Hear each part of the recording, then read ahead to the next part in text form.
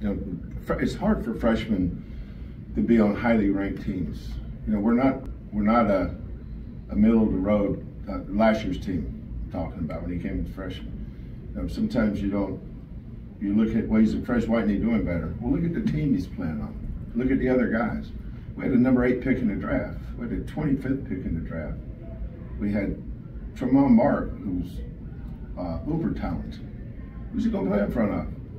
You know, it's not going to be 50 50. You know, Terrance, we need to get Terrance 20 and Marcus 20. No, Marcus is going to play 30 something, Terrance is going to play 8. That's just the way it is. He- He's a freshman. You know, and if you had five Terrances, if you had five Terrances, uh, you just you just have to get used to getting your ass whipped. Because that's just the way it would be. You know, it's like the year we went to the Final Four.